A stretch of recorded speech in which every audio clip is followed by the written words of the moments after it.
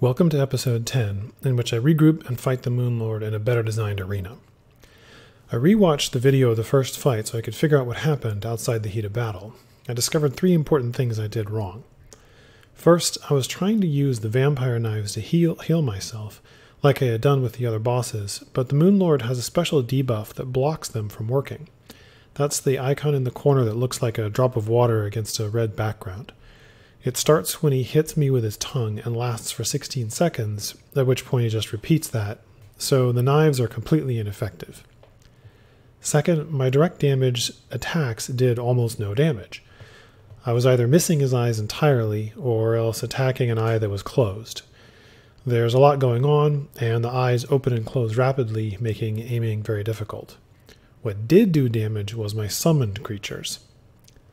Third, the main attack that did the most damage to me was the beam he shoots from his center eye, which is almost impossible to dodge, but that attack does not go through walls.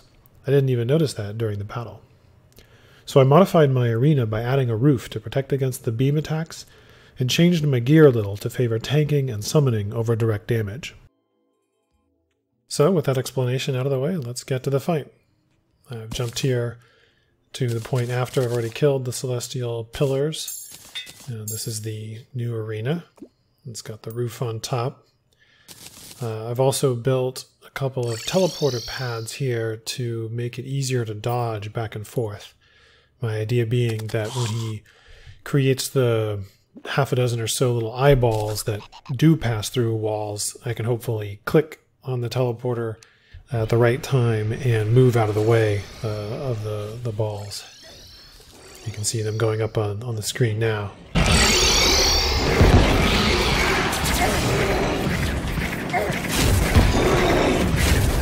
I'm also attacking vertically uh, with my um, solar eruption, which is sort of like a cross between a yo-yo and a boomerang.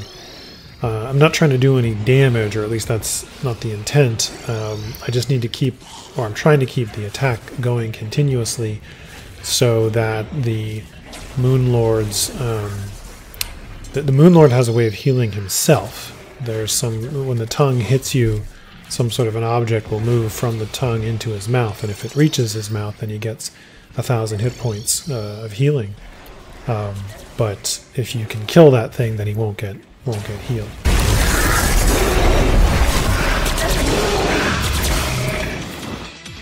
Meanwhile, I've got this dragon, the Stardust Dragon thing. Um, you make that from the materials you get by killing the Stardust Pillar. And that's doing a, a lot of damage. You can see that already that right eye is uh, less than half health. This beam attack is completely neutralized by the roof. Um, and so at this point, the only threat are the occasional random attacks that come from the left and right, and then even more importantly, these eyeball things, which I'm doing a moderately good job of dodging. Unfortunately, I've also got some other enemies like this zombie with a fishbowl on his head in my arena. I should have done a better job of making it hard for them to spawn here. Oh well.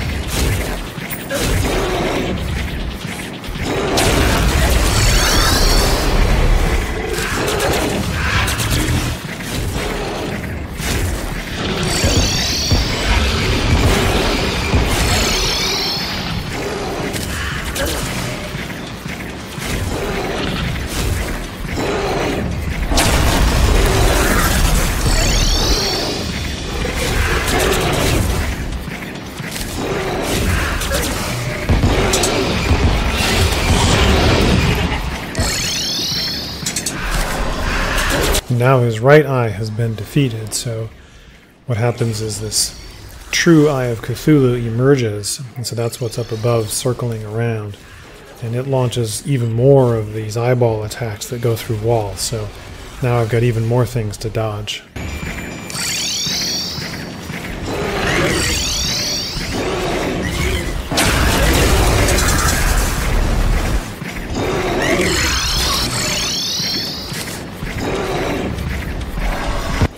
Left eye is dead as well, so there's two of these true eyes. And their attacks are really difficult to dodge because they they appear right above you and you only have a moment between when they start moving uh, and when they reach you. So now all three of his eyes are dead. And I didn't even understand this the first time around, but you have to attack his heart.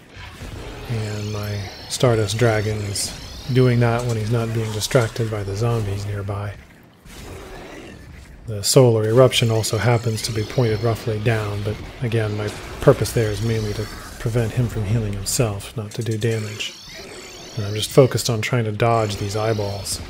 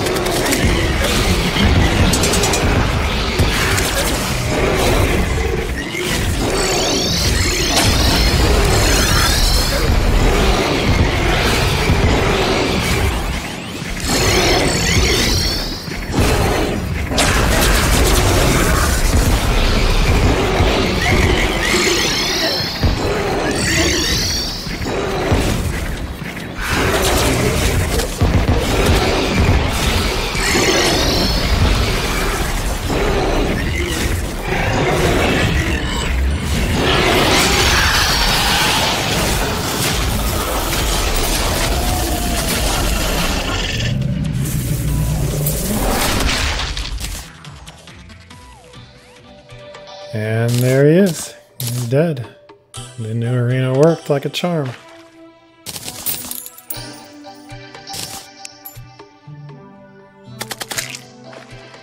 Let's check out the loot.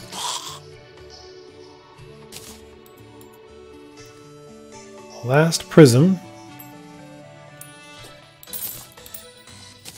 which sort of attacks in a a large area and then it focuses down to a smaller area and uses an enormous amount of mana doing so. And here's what it looks like attacking creatures, if they can survive long enough for the dragon not to kill them.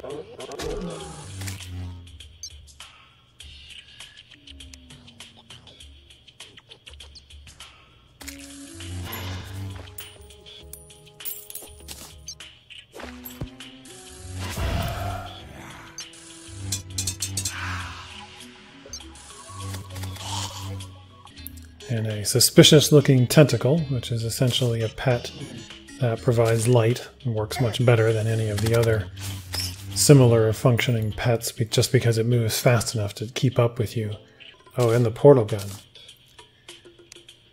So the portal gun is a really cool addition. I haven't found a whole lot of use for it in battle, but it lets you create portals just like in the game. Um, that you can go into one and emerge out of the other.